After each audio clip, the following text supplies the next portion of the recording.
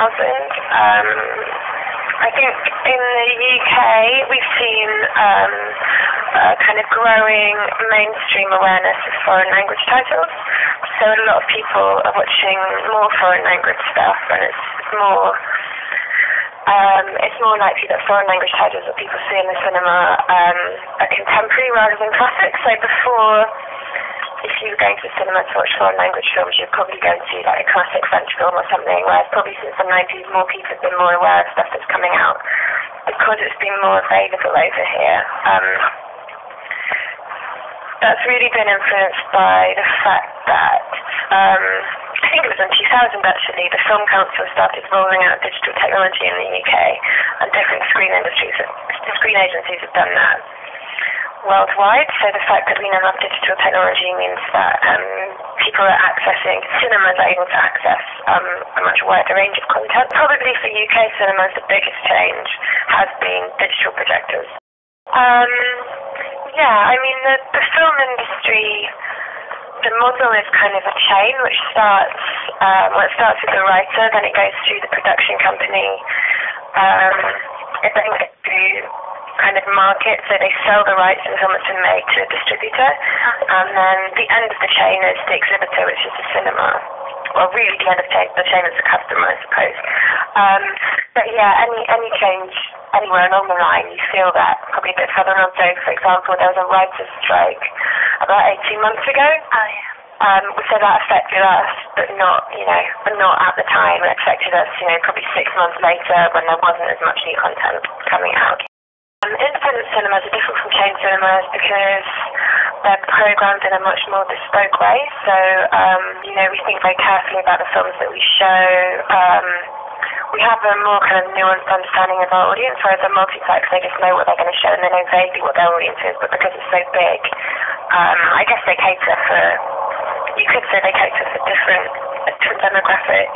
Also, yeah, so more care goes into our programming. Probably we're more community-minded and we feel like we have a remit to support smaller films, whereas a multiplex is really, you know, they're just there to make profit, so they don't have as much integrity in supporting, you know, films. Like we will take a risk on a film that we know might not make that much money because we think it's important that people see it, whereas a multiplex wouldn't do that. Well, one very important thing about the Lexi is that we're run by volunteers, so we're a social enterprise, um, which is different from a charity. It means a business which gives which gives 100% of its profits to charity. Um, so I don't know of any other cinemas that do that. That's something unique about the Lexi. Also, we're very small. We're probably one of the smallest cinemas in the UK. Um, that kind of sets us apart. Um, and we also do pop-up cinema screenings. So most businesses are either like a cinema or a pop-up business, but we do both. Okay. Um, that's unique as well, I think. Okay, um, so before the Film Council was set up, the BFI was, um, um, as well as being a kind of cultural establishment for film in the UK, it was also a major funder. Um, then the Film Council was set up in 1999. Um, and the BFI just became, you know, they were promoting talent, but they weren't funding it anymore. Now the Film Council has been shut down. Um, the BFI has actually gone back to taking on more of a funding role. So in terms of supporting British talent, I think they've probably supported British talent more through developing filmmaking talent, like directors, rather than actors and stuff. So they would support the production and the exhibition of the film rather than, you know, the actors and the people in front of the camera. Oh, it's massively improved. I mean, now there's like a really um, new and growing trend in cinema at the moment is for kind of more of a luxury experience. So that started with groups like the Everyman, now being taken on as well. Probably all of the independents aiming now to give more of a kind of customer focused experience. So if you go to Curzon, they're like their program is fairly traditional art house, but they're now, you know, the wine now, the seats are very comfy, and they make a big deal about that. And you're even seeing multiplexes, new multiplexes will always have like a luxury section, Yeah. which they didn't before. So um, that's like a big, a big trend, and I think it means that generally it is more comfortable for people to go to the cinema because so many people watch films at home now. I think cinemas need to offer something as well as the film. Yeah. It's like more of a focus on experience.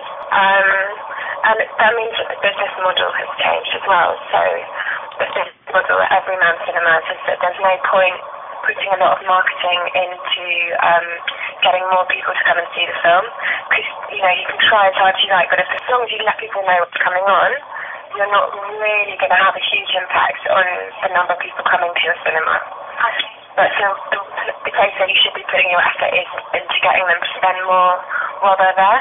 Oh yeah. So Everyman would rather spend their money persuading people to buy olives and a glass of wine and like gelato or whatever than spending all of that effort maybe getting five extra people to come because you don't really make the money from the ticket price, you make that from um, what people buy while they're there, so like the concessions it's called. The main problems facing cinemas today, um, I guess the home entertainment industry is always kind of growing and developing. More and more people are downloading films at home, either to watch live online or you know you can download them and keep them now. I don't know because I like I'm not that tech savvy, but that's a that's a huge growing sector, um, which means that distributors are. Um, like film distributors, so they're people who own the rights to show the film.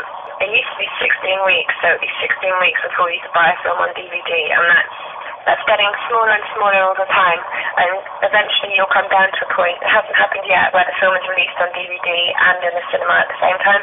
So the cinemas are constantly struggling as the windows get smaller to kind of make the most out of films as soon as they as soon as they're released. So that kind of pressure while you have the exclusivity of the film, like the window is getting really reduced. So that's like a that's a major increasing pressure on cinemas at the moment. Also, I guess because of the recession, arts funding is being cut everywhere, and that affects that affects independent cinemas as much as you know it affects theatres and people like that. A lot of cinemas are reliant on a bit of public funding. Definitely, yeah. Um, I mean, actually, I think the more it's kind of a myth that the more people buy DVDs and download films, the less they go to the cinema. Um, because I think that, you know, the more people watch films, like, the more people watch films. So, um, you know, there was this debate probably when Love Film and everyone said, you know, it's like a new way of renting DVDs. Um, and I was working for Picturehouse at the time, and we used to advertise LoveFilm, and everyone was like, you know, what are you doing? You're a cinema and you're advertising like DVD rental. Surely they're your competitors. Um, but they um, they commissioned a piece of research which actually found that the people who were renting more DVDs also went to the cinema more because they were just people who love films. So I don't think that's really that's not it's not really a challenge. Um, it's just a change, I think. Um, and you're kind of seeing a renaissance now and people going to the cinema. I mean, cinemas are doing better and better year on year, and especially when um, like financial climate is quite difficult. Cinemas traditionally do very well in a recession because they're kind of a cheap night out. Um, so you know, you spend like a ten on a cinema ticket, and that's like two and a half hours entertainment. You know, it's, it's actually quite cheap compared to going out for a meal.